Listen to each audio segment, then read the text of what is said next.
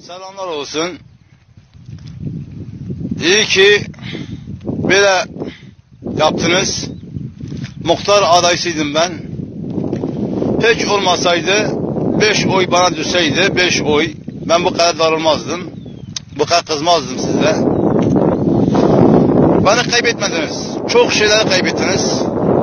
Çok şeyleri kaybettiniz.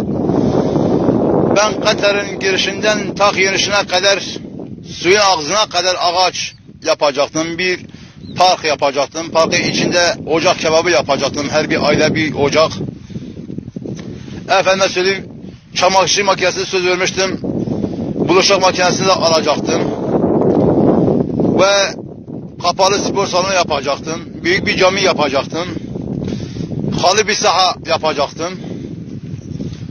Benim amacım o aylığı cebe indirmek değildir.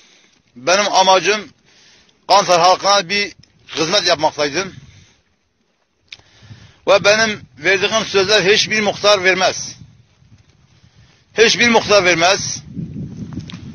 Benim Kanter'e hayali bir cennet yapacaktım. Dille destan olacaktı Kanter. Ama kaybettiniz. Hakkınızı da kaybettiniz. Hakkınızı kaybettiniz. Bunu ben farkındayım.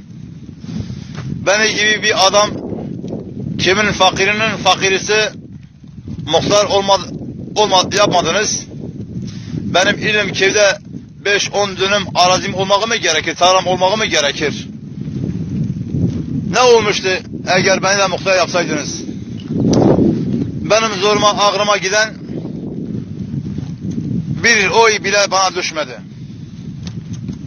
Bir oy bana düşmedi. O yüzden hepinize dargınım. Hepinize kızgınım.